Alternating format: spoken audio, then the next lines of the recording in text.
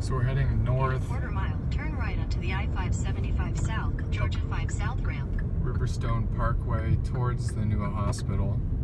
Let's see, there's a Home Depot back behind that gas station. A newer Arby's, um, another newer gas station. Uh, some older buildings are mixed in.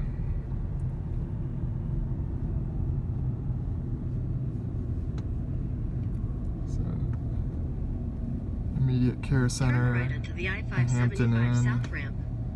Comfort Inn, Cracker Barrel. It's all within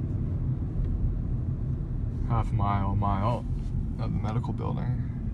Continue on I-575 South for a half mile. So to get to the hospital, you hop on I-575 South.